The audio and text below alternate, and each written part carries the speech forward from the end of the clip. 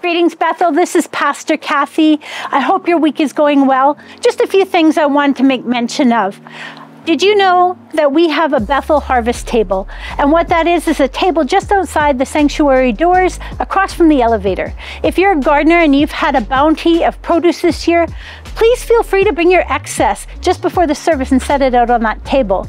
For those of you that would like to enjoy some of that bounty, make sure that you bring your own bags and you can pick whatever you want.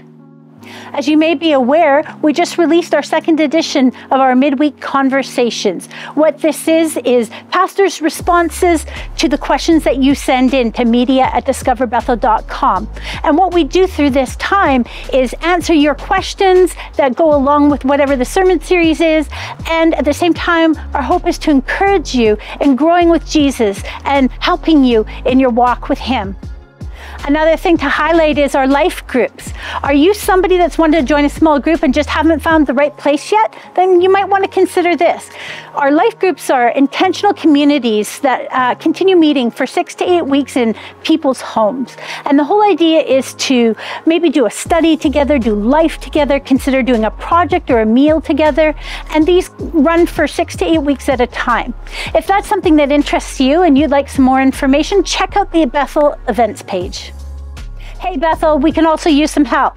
One of the ways we try to bless the community of Bannerman every year is by doing a diaper drive. You may have noticed in the bulletin that's something we have in progress right now.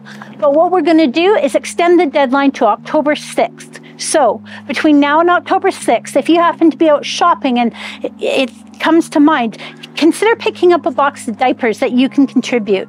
I just want to emphasize that there's a special need for those larger sizes, sizes four, five, and six. So bring your boxes of diapers to the back of the sanctuary. Bethel women, this one's for you. On Friday, October 6th from 7 to 9 p.m., there's going to be a ladies' games night. It's going to be so much fun. So find a game and bring it to share with others. Uh, bring a snack. It's going to be so much fun. If you're looking for more information, again, check out the Bethel events page. And that's all for now, Bethel. Have a blessed week.